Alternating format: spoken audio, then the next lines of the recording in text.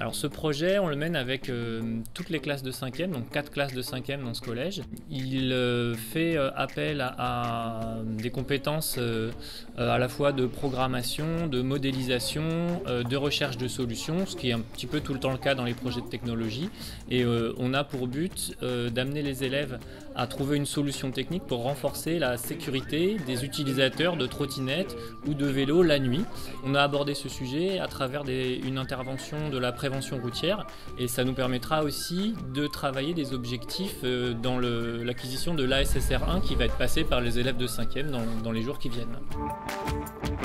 Moi j'étais tombé sur euh, un petit peu sur un document pédagogique de notre académie euh, et donc j'ai voulu, en utilisant le matériel, voir quelles étaient les possibilités techniques qu'on avait pour euh, faire un objet qui puisse parler aussi aux élèves, puisque euh, je suis sûr qu'ils sont à peu près tous, au moins une fois de temps en temps, utilisateurs de vélos, de trottinettes, où ils sont tous avec leurs parents en voiture, euh, avec la question qui se pose des autres usagers de la route.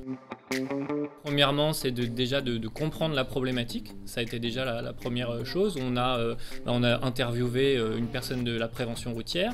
on a également consulté des vidéos et consulté la presse qui parlait de la problématique euh, de la visibilité des cyclistes ou utilisateurs de trottinettes et de leur euh, fragilité par rapport aux autres euh, véhicules sur la route. Alors là, on est, on est un petit peu dans le, dans le rush entre guillemets parce que bah, on, a, on a un prototype qui est prêt et qui est au niveau technique qui est prêt mais qui ne contient pas encore toutes les fonctionnalités au niveau de la programmation. On a d'autres élèves qui sont en train de travailler là-bas à l'atelier pour faire euh, d'autres prototypes. On aimerait pouvoir en présenter plusieurs avec éventuellement plusieurs versions de la solution le jour du concours. Euh, voilà, quand c'est possible. Les élèves derrière moi qui travaillent sur le, rapport qui va être à, communiquer euh, rapidement au jury, c'est génial.